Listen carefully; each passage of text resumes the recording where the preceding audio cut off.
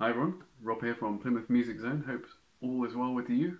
Uh, so we've been looking at turning things into music which aren't music, and last week we used letters of the alphabet and I drew shapes in MIDI notes to make a bit of music out of them, and I asked for your suggestions. And we had a suggestion from Ken to use the word music itself, so I've given that a go this week.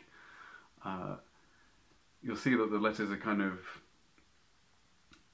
bit distorted, so I've kind of taken a bit of artistic license to take them slightly away from their kind of symmetrical sort of aesthetic look on the grid, but I've intended to bring certain musical aspects out of it, so kind of a bit of an exchange.